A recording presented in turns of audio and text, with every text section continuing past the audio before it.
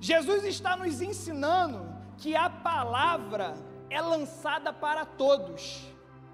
A palavra, ela é lançada para todos, não é para alguns. Não é o meu papel, não é o seu papel julgar, a rede é para todos. É tudo uma mistura. Não podemos separar um do outro. Enquanto está na rede, está todo mundo junto. A palavra é para todos. Deixar de pegar o ruim, deixar ou pegar o bom, não é o nosso papel. Cabe a nós enfrentar o mar, lançar a rede e pegar todo tipo de peixes.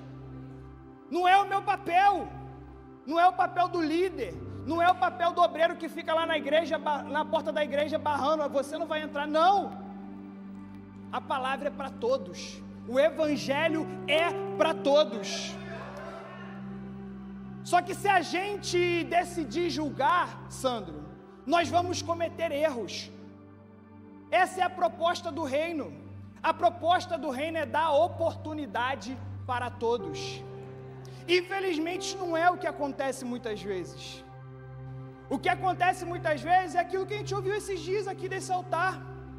É o irmão julgando o pecado do outro, porque o pecado que ele comete não é o mesmo que eu cometo. Aí sabe o que acontece? Ele fala: Ah, Fulano está adulterando. Mas e você que mente? Você que fofoca? Você que deve e não paga quem tem que pagar? As consequências, sim, são diferentes mas o pecado dele é tão pecado quanto o seu pecado. Eu preciso fazer com que você entenda isso nessa noite. Todos nós somos pecadores. O papel de julgar não é meu, não é seu. O papel de julgar é de Deus. O problema é que as pessoas estão olhando para a situação que acontece com o irmão que está do lado e tem a síndrome de Deus, e esse aí não serve para caminhar comigo. Olha o que ele está passando, olha o que ele está vivendo, olha o que ele fez. Para de querer saber da vida do outro, meu irmão.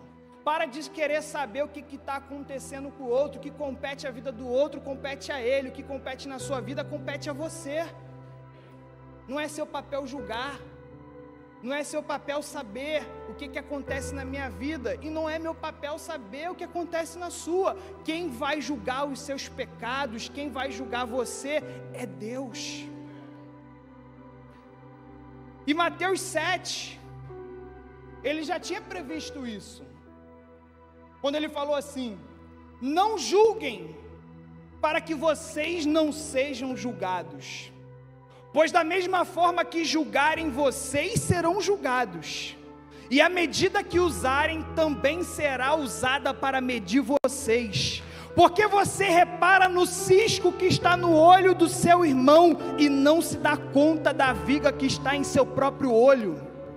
Como você pode dizer ao seu irmão: Deixe-me tirar o cisco do seu olho quando há uma viga no seu? Hipócrita! Tire primeiro a viga do seu olho, e então você verá claramente para tirar o cisco do olho do seu irmão.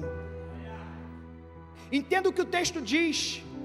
Ele não está falando para julgar o cisco que está no olho. Quando você tirar o que está no seu, você pode ajudar o seu irmão.